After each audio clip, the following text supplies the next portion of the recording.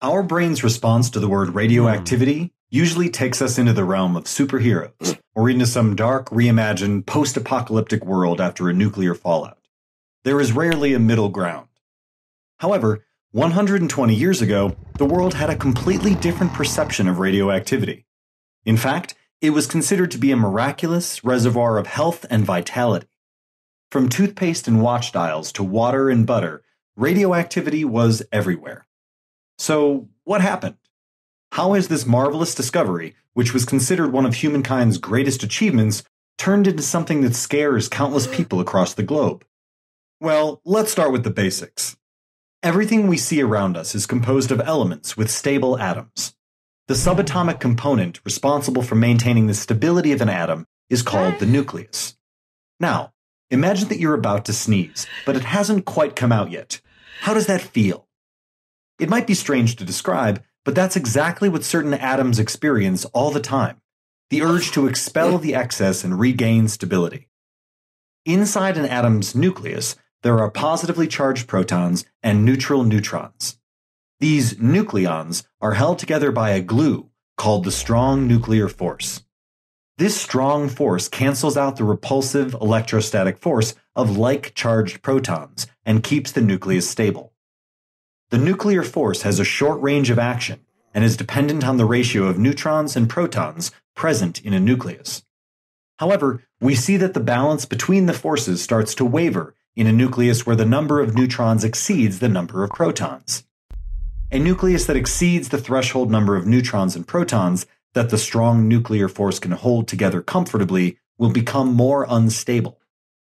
More specifically, these scenarios give rise to unstable isotopes of elements. Just as your body, through a series of expansions and contractions, expels a substance with a sneeze, Similarly, the unstable isotopes of elements fling out different particles or forms of energy to restore balance between the forces in their nucleus. During this process of attaining stability, they change into a new nucleus. It is exactly this property, namely turning into something new to attain stability, that we call radioactivity. The process by which it transforms is called radioactive decay. A nucleus can undergo nuclear or radioactive decay through the emission of alpha, beta, or gamma radiation, and sometimes a combination of all three.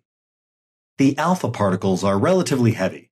They can travel only a few centimeters in the air and can be easily stopped by a sheet of paper or plastic. Beta particles have higher energy and more penetrating power than alpha particles, but are less ionizing in nature. They can travel through the air, but can be stopped by a thin sheet of metal or even protective clothing. Finally, the most energetic and fatal form of radioactive decay is gamma rays. Yes, these are the type that supposedly turned Bruce Banner into the Hulk.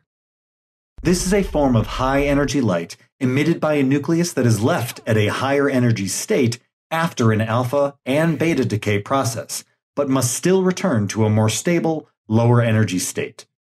A nucleus can undergo all of these decays spontaneously and transform into a stable form within seconds, years, or even centuries. This rate of decay is decided by what we refer to as the half-life of the radioactive oh. substance, which measures the time it takes for a given amount of the substance to become reduced by half as a consequence of decay. One cannot have a discussion regarding radioactivity without a mention of the famous scientist Marie Curie, her lead sealed hmm. radioactive laboratory, notebooks, cookbooks, and furniture contaminated by radium are a testimony to her contributions in the field.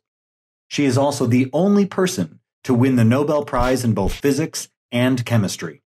The discovery of radioactivity and radioactive elements came through Marie and Pierre Curie, along with Henri Becquerel in the early 1900s, opening up the gates to a completely new field of atomic physics.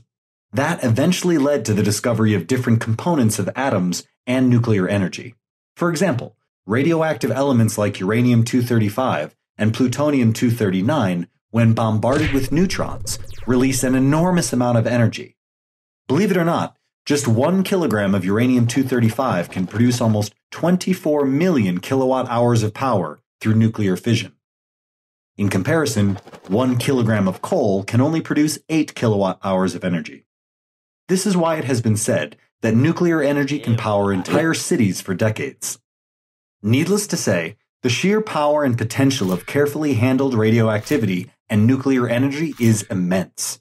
But, as is true with all great things, radioactivity also comes with some risks. Radiation as a whole isn't dangerous. Light bouncing off a reflective surface, the microwaves heating our food, or the signals received by our mobile phones are all different forms of radiation. However, there is one kind of radiation that is particularly harmful to all biological forms ionizing or nuclear radiation.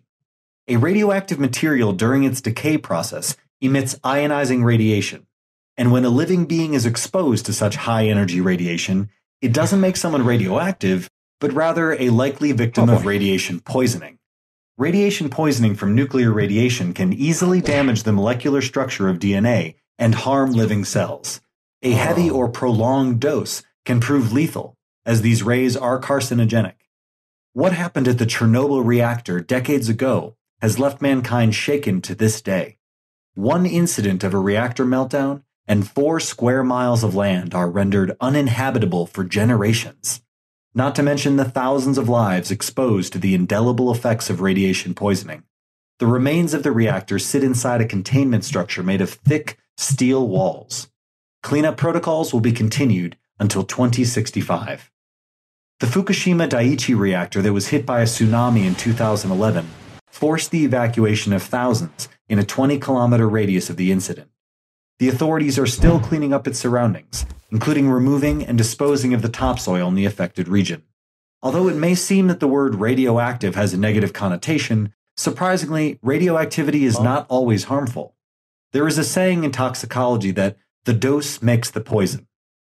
It's true that when a person is exposed to unregulated amounts of radioactive material, it can cause severe genetic mutations and cancer. However, when regulated, it can also cure cancer. Radioactive iodine is used in radiation therapy to treat cancer and for imaging in the thyroid gland. Radioactive technetium is used for the detection of heart, bone, and other organ defects. Radioactive C14 carbon is used in carbon dating, which helps us determine the age of things. In some countries, fresh produce is lightly irradiated before packaging to kill off the germs on the surface of fruits and vegetables. A tiny amount of americium 241 is used in smoke alarms that help save thousands of lives every year. Quite simply, radioactivity is everywhere. But hypothetically, if you end up backpacking to an unknown land and the Geiger counter in your bag starts crackling, the best thing you can do is run.